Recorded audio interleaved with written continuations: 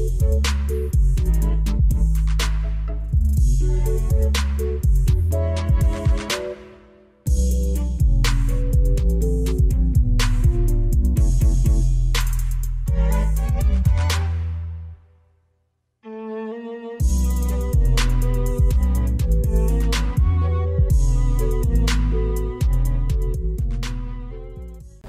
morning and welcome to Wake Up Wildcats. I'm Ryan Cole Smith, and I'm Cole Osborne. Today is Tuesday, October 12th, and it is a B day. Today's weather will go up to the low 70s and will be mainly cloudy with a slight chance of showers.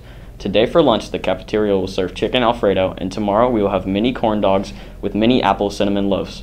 Now on to Ryan for more news. Seniors, your picture choice for the yearbook is due October 22nd. If you have had your picture taken with an outside company, make sure that it is submitted and confirmed by the date. See Miss Studley in 406 if you have any questions. Tomorrow are the PSATs for all sophomores and for freshmen and juniors who signed up. If you are taking the PSATs, you will need to bring two sharpened pencils and your own calculator. Calculators will not be provided. Your homeroom teacher will provide further details. If you are interested in joining the Martial Arts Club, we will have a meeting today after school in room 507. Welcome to the first year of the Racially Unified Community Club, where our differences is what brings us together. Come join RUCC after school on October 14th. You can get more information or pick up a club t-shirt for $15 in the main office with Miss Cruz. Students, consider entering your original artwork in this year's PTSA Reflections Contest. This year's theme is I Will Change the World by Entries are accepted in six categories literature, visual arts, photography, videography, dance choreography, and music composition. See the entry forms available in the library outside of room 404 for more information.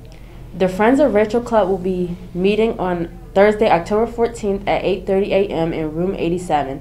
Please remember your homework. Bring one new member along with you and an idea or two for events for our club. Check your student email for the nomination form for homecoming court nominations. They must be submitted by the 4 p.m. on October 15th. Future Business Leaders of America will meet on Wednesday, October 13th at 8 a.m. in room 601. There will be donuts. Contact Miss Andrews or Mr. Milligan if you wish to join but cannot make the meeting. Great Bridge defeated Oscar Smith last week in straight sets.